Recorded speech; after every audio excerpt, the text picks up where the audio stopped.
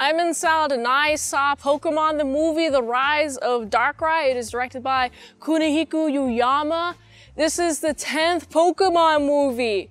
And they've all been directed by Kunihiko Yuyama. Congratulations. Wow, I can't believe it. It's getting really stormy out here. Must be Darkrai around. Just wanted to let you know because if it gets super bright, I get all squinty, it's my light sensitivity. Just wanted to let you that know it's just a condition of my autism. If you haven't seen this movie, I will spoil it for you. The movie starts, we're getting a backstory on the, dimension that's in between dimension space. I find this to be really cool. The design of like the black and white and it looks all like warbly. I like that a lot.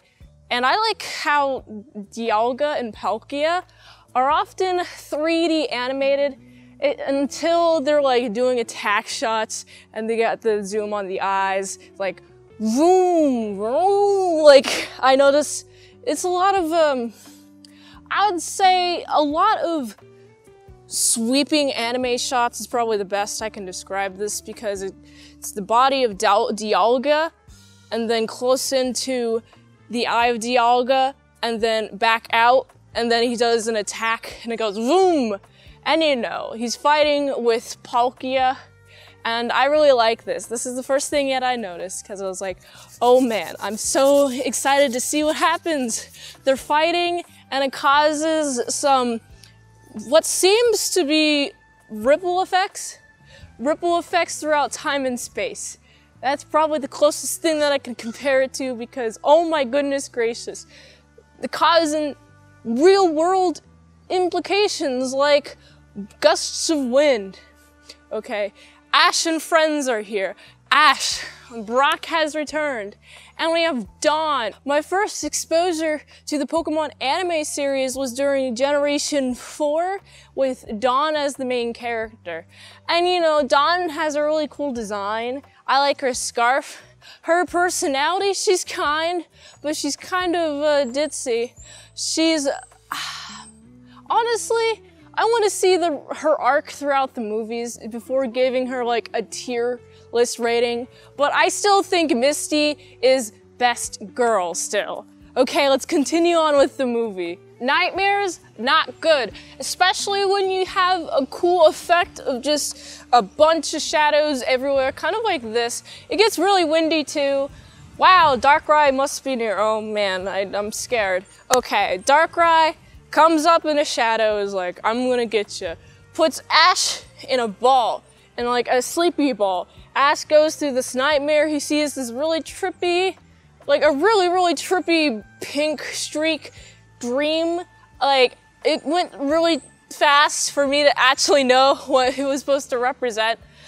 Uh, Ash was also spooked, which makes sense. I'm a big fan of Ash being like, oh man, I'm open to any and all experiences. So when Darkrai comes back and Ash is like, hey, what's up with you, man? Why you bad? Why you not having fun? Everyone hates Darkrai. Oh, totally makes sense. We got a bunch of mysteries like, oh, Darkrai causes nightmares, even near the Pokemon that Darkrai is near. Some Pokemon just want to stay away from Darkrai. And it's like, wait, what was the context that Darkrai was in in order to cause those nightmares to those Pokemon? There's some flashbacks that a bunch of Pokemon are fighting Darkrai. Why are they fighting Darkrai? Is it because Darkrai is an intruder? Why did Darkrai intrude? We don't know the full context here, okay? It just seems like a bunch of people just prematurely judging and there's a guy who's also just really handsome dude guy who has a sash across his uh, chest. He's like, oh, it must be Darkrai. Oh, Darkrai is the root of all of my problems. And I'm like, I don't know if it is. Please, Darkrai, please, uh, if you're bad at communicating, I totally understand. I have communication issues too, so you might be misunderstood, which then I can relate to you, Darkrai. But Darkrai has opened up to a woman. She's a really nice woman. She's like, hey, Darkrai, you can be here. Oh, this was in the past, mind you. This was the grandfather of now Alice, who's supposed to marry that guy who thinks Darkrai is the root of all evils. Uh, his name, his name's gonna be uh, Sir Man. He's the Sir Redcoat Man. Yes, that's totally his name. A Pokemon official name right there. But Darkrai is not the root of all of these evils happening and occurring. It's actually something else. And Darkrai notices this something else and it's like, hey, come on, I want you to leave. And he throws like balls up the sky and I'm like, wait, hold on. What is happening? There's this fancy zoom and enhance technology because there's some dudes monitoring the levels, the supernatural levels, the level of science, levels of magic and science and stuff that happens throughout the movie. I don't know all the specifics, but I do know that it's monitored on a graph and there's some zoom and enhance features. Oh, zoom into this white blur. Okay, now zoom and enhance, zoom and enhance. And then it's just like Palkia. And like, wait, you found a Palkia within all the just whites or pink or whatever color data that you have? Man, this is a miracle computer that I want to have. I want to uncover secrets within the pixels of all my JPEGs. Are there hidden gifts that the computers are trying to give me? Come on, why don't th those exist? In the comments, do you guys want that too? That sounds like a brilliant future. So anyway, Palkia is here now. Palkia is injured. Palkia, turns out, made this entire city just super foggy and then now it's in its own dimension. We gotta figure out why Palkia has done this. Palkia is injured. Palkia doesn't want to fight no more. I totally get that. Palkia, you're my friend. I played Diamond first, but that was my introductory game. Palkia is the real homie. Oh man, I was looking at the size comparison between Palkia and Dialga, and Palkia is smaller, but Palkia is cooler because it has wings, and it has like two uh, pearl guard things. Palkia is such a cool Pokemon. Palkia is, super uh, is superior to Dialga, and I don't like that Dialga and Palkia are fighting. Also, there's not supposed to be. There's a whole like story on that. Uh, those were quotations. These are quotations. These are the proper quotations. Anyway, Palkia injured. Dialga comes, and uh-oh, looks like Palkia and Dialga are fighting again, and each time they have a blast, they go, Pah! you know what happens? Uh-oh, Palkia, more like Palkia gone with the city because the city gets smaller. Yeah, that, that totally worked. Palkia, Dialga keep fighting. There's a race to get up to. There's the towers. Did I mention there's towers? Yeah, there's towers to commemorate these two deities. We have Space Tower and Time Tower. Forget which, which side they're on. They gotta go to the middle to play the song. Turns out Alice knows the song because the grandmother taught it to her. They knew all along this was going to happen someday, so prepared Alice, which is good. Good job, a good preparation, good multi-generational preparation. Man, that is incredibly responsible. Good on you, uh, uh, Grandma Alice. Uh, Alicia, is that, it's, it's similar to Alice, but it's not quite that. I forgot her name. I feel bad, but she's old and probably dead. Uh, but she's a good grandmother while she lived. Darkrai is just misunderstood.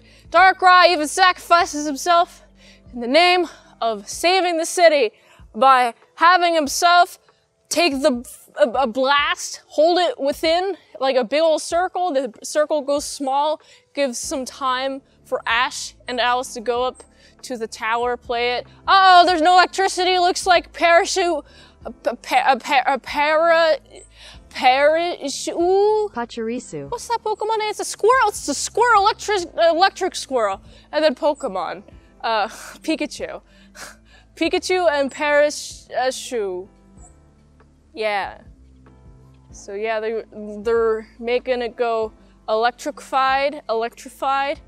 And then, oh, there's a song that calms these deities down. I like the song. I'm like, oh man, is this like some sort of magical Pokemon song? it was demonstrated earlier that it calms like a bunch of Pokemon down. It calms these dudes down. They just needed some sort of chilly, chill song. The thing that Palkia is like, hey, well, we're gonna stop and now everything's gonna heal. Healing power commence. And then the city is back. Dialga and Palkia are chill. And then they go bye-bye. Bye-bye. Have a nice time. Ash and friends, they get the regained confidence. I really like how Dawn is not in it at all that much. She's kind of there. She's not really there that much. She's kind of just a side character. But Ash, oh my goodness, Ash is so brave. Every movie that I watch of Pokemon just makes me really want to be Ash's friend some more because he's just like a resilient fellow. He's just like, yeah, I'm gonna keep going no matter what people tell me, no matter what. Darkrai is actually a true homie. Darkrai comes back from being dissolved after the dimension was put back. Also, did I mention, you know, the nightmares?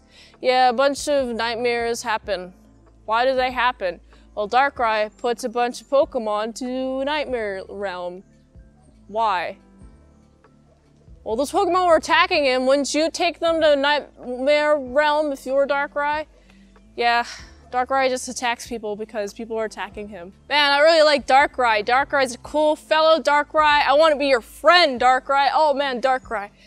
Cool, homie, Darkrai. All right, that's how the movie ends, okay? Colorful.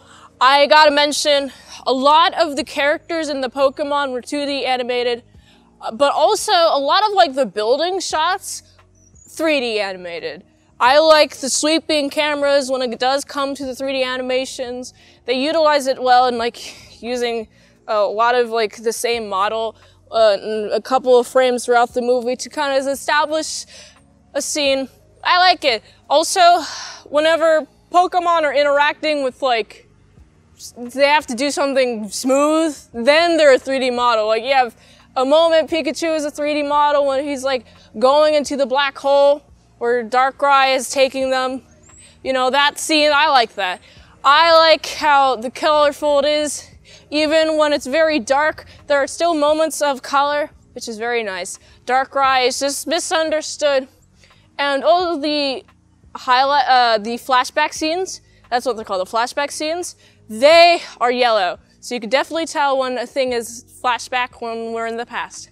And so, I was engaged with the story. I like Darkrai. Darkrai is a cool guy. I gotta give this movie like a solid 6.7 out of 10. If you like this review, be sure to like and watch another movie review because YouTube likes that. Also, subscribe if you like. The ultimate goal of this channel is for me to become an expert movie reviewer, so if I haven't reviewed it on the channel, there's a chance I haven't even seen it at all. If you'd like to request a movie in the comments below, you can do that, or you can fast track a movie review request at patreon.com slash ASEpresents. $20 a month for one movie review per one month, $3 a month for 250 vlogs that are up there right now, but also the how to draw Pokemon tutorials will be posted there early on patreon.com slash asepresents. And if you'd like to help support the daily grindiness of all these daily movie reviews, you can go to my free to follow Fansly. That is my main way you can help me with the daily grindiness of all these daily movie reviews. So you can go here. And until next time, I'm in salad sauce. See you later, my salad croutons and bacon bits.